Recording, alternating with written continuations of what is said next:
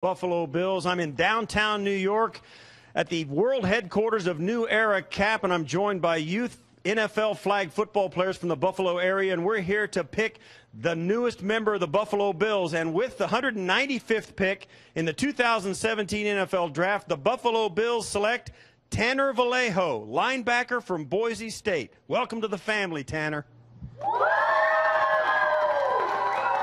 All right, it took us a while. We had to wait till day three, but uh, a pair of Broncos off the board now in the last 50 picks or so. Tanner Vallejo, the linebacker for the Boise State Broncos. Tanner Vallejo, you know, it's interesting. You look at what they've been able to do here at Boise. And just, I, just quickly, I want to mention this because we talked about Utah before, but Boise has really cranked out uh, a lot of talent here recently, including uh, Correa last year was yeah. another one. Vallejo is a player who, you know, for me, he had some buzz headed into his workouts and ran a sub 4.7, which is good. Four, you know, four six seven forty.